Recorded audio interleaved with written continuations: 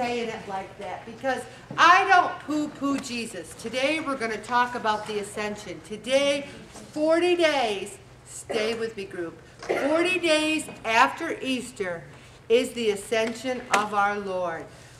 One of the things that God always does is he does things that we're supposed to really pay attention to because it's foreshadowing our own lives. If we try to live like Jesus, we'll be all set.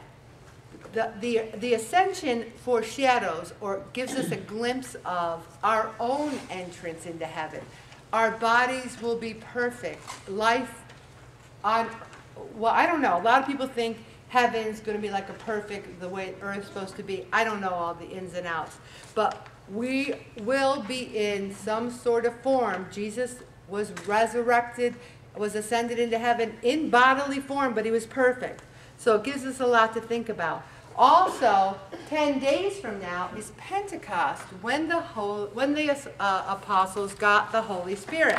So what do I have here? A novena to the Holy Spirit. And where did I get it? EWTN's website.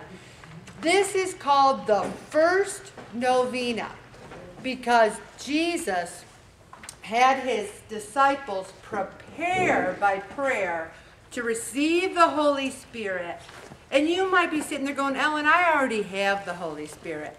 We all receive the gifts of the Holy Spirit, but there's nothing wrong with turning them up a notch, with asking God to, to, to increase the gifts of the Holy Spirit.